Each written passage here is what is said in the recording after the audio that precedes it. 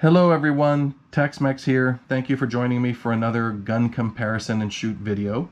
Today we're going to be comparing the SIG P226 and the CZ75 SP01. Once again, I'm comparing two uh, full frame double action uh, pistols, uh, all metal construction, and uh, what makes these similar, the reason I'm comparing them in particular, is that they are both decocker models. And I'll show that right now as we do our safety check. See here that there is nothing in the magazine and the chamber is completely clear.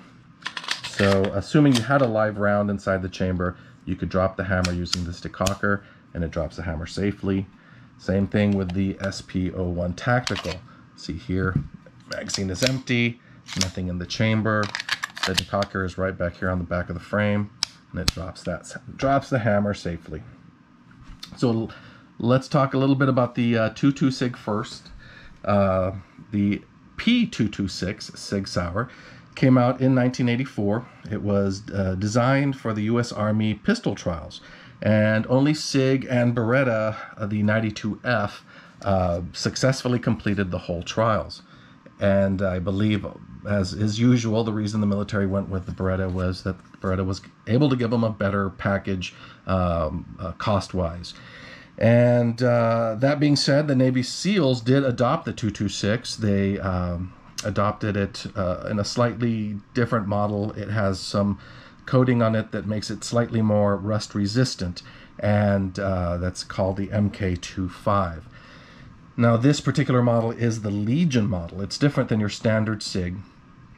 P226. It, it has an improved trigger, uh, G10 grips uh, standard, and it also has, among other things, these x-ray sights. And the x-ray sights are great. As you see here, you have this really, really large front green dot uh, and they're night sights, and they really, really do great for target acquisition.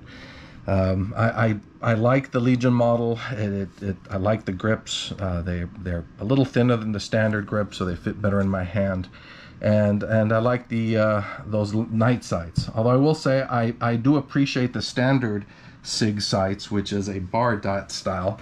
As you can see here, I'll check that. Um, you see this bar in the back, dot in the front.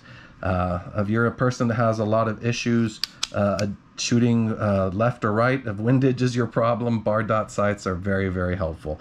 Uh, this is an older model. You can see it does not have the rail on it which uh, I lamented the other day about pistols without rails and how pretty uh, and streamlined they look. Uh, rails are very practical and very useful. There's something to be said for them, but I, I do miss those days of, of sleeker designs. Uh, that being said, the uh, 226, the, the Legion model, it is a, a, a, double action. Although they do make a single action only version of this firearm. It does not come with a decocker, though it comes with a safety because it has more of a, obviously a 1911 style system. So uh, you can uh, use it cocked and lock and have that safety in the back. Uh, this gun shoots great, fits great in my hand. Uh, obviously has an improved trigger and, and even the standard SIG trigger is is is very nice. And I will use that as my segue into the CZ SP01. And this is based off the CZ75, which is a very old model. It's uh, was designed in 1975 and it's been in production ever since in some variant or another. Uh, this SP01 uh, uh, model came out uh, after the turn of the century. It was used in 2005 in an IPSC uh, match. And the tactical model has the decocker because the standard SP uh, has a safety as well. So the trigger is different on that one because it's safety. The decocker model is a little different. And I believe it's designed uh, for the military and police. And the SP, I believe, stands for special police or something. Uh, I'm not sure because this gun is made in the Czech Republic and I do not speak Czech.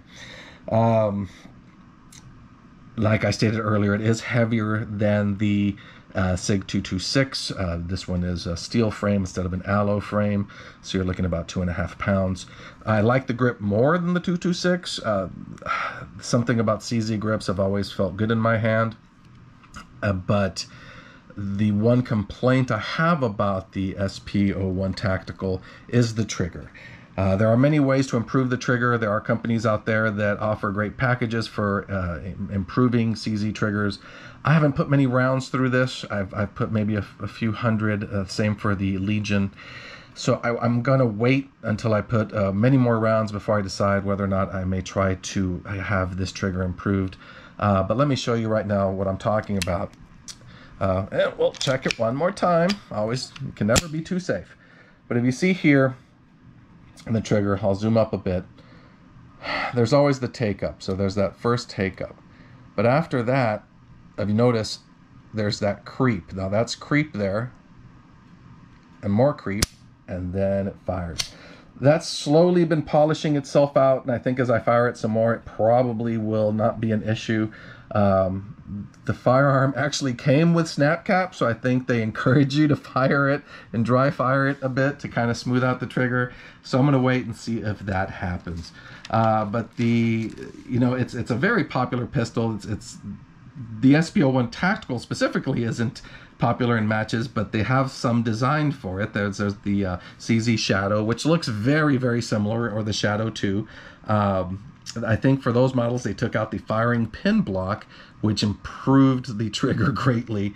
And obviously, it's got a lot of improvements for those uh, models that are specifically made for uh, competition and target shooting. Um, you know, there's really not much to complain about either of these pistols other than the trigger on this one. Uh, a lot of people will say that they don't like the fact that SIG has uh, such a big slide. You can see the large slide here that sits outside of the frame versus the uh, thinner slide over here that sits inside the frame that can uh, change muzzle flip when you're firing the pistol. Uh, the bore axis on the SIG is higher because of that frame. You can see the the height of the of the actual barrel down to where you're holding your hand is taller than uh, this the height of the barrel on the CZ uh, to the where you're holding your hand on the frame. Um, and that has a lot to do with the fact that the CZs do have that that slide that sits inside the frame. Uh, I believe that's where Jericho got their design, and it works great on that uh, pistol, and I, I, assume it will work very well in this one as well. So uh, we'll we'll do some slow motion cam with these when I take them out shooting, so you can see them uh, from uh, from the side and, and, judge for yourself if there's much difference in muzzle flip. I'll, I will try to hold both guns uh, with my same grip uh, so that I'm not favoring one over the other. Uh, but that's what we're going to do. We're going to take them to the range, put some rounds through them. I think I'll probably uh, shoot paper this time so we can see how well I group with either of these. Um, the the trigger might give me some issues with the with the CZ, although I don't plan to sit there and um, do rapid firing.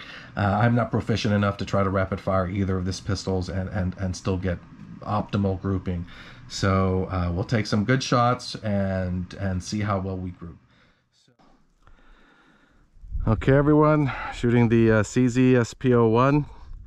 Not sure you can see this very well because I don't have my preview on. 10 rounds, we're at about 10 yards here.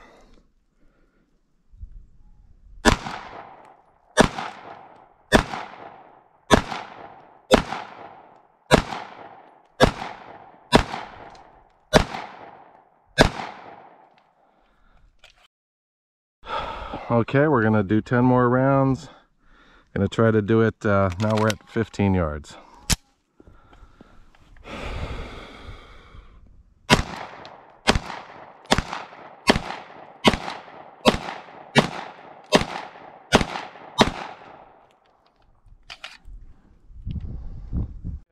Ooh, it's getting a little windy. So now we're gonna do the 226, 10 rounds, about 10 yards.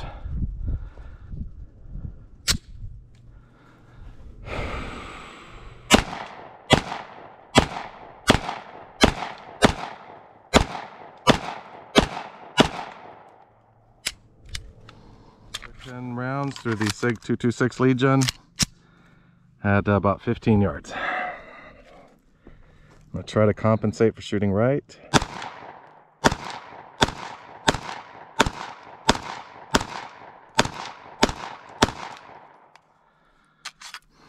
I did not compensate and kept the same point of aim. Well, here are the results. The 226 and the SP01 Tactical. Uh, accuracy was better for me with the SP01, surprisingly enough. I've, I've shot the 226 a lot more, well, and not this one in particular, but other models of the 226. And uh, I did pull a couple of shots. You see these two down here. If you take those out, you can see it's, it's quite a tight little group. So I may have had more precision uh, with the 226, but uh, I was hitting more on target with the SP01 Tactical. Uh, you know, I talked about the creep in the trigger.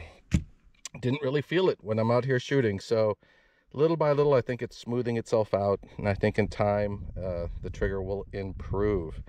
And both of these very easy to shoot. Uh, obviously, they both have very long sight radiuses.